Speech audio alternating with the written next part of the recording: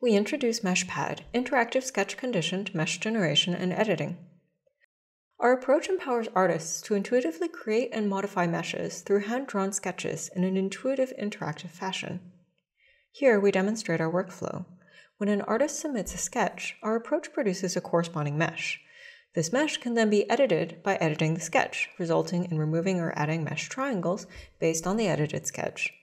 This interactive process can be performed iteratively over multiple steps, offering a flexible and efficient tool for mesh design.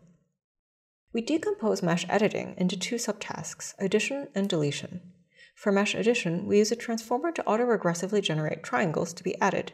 We then merge the input mesh with the generated mesh triangles to produce the final mesh output.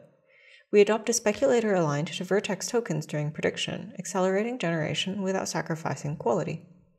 For mesh deletion, we first overlay the user input with the original sketch, and then use a transformer backbone to predict whether each vertex in the mesh should be removed. Combining mesh deletion and mesh addition enables an iterative editing process, as well as easy supervision for both tasks by simply randomly sampling regions of training meshes. Here, we compare our sketch conditioned mesh generation with state of the art.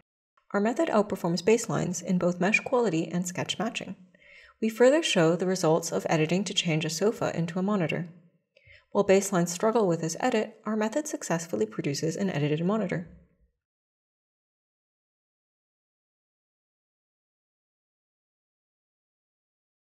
In a perceptual study, our method significantly outperforms baselines, in user rating as well as with 90% of user preference compared to other methods.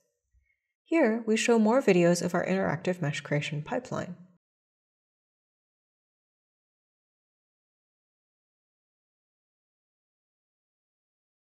With this, users can create a variety of high-fidelity, complex 3D meshes.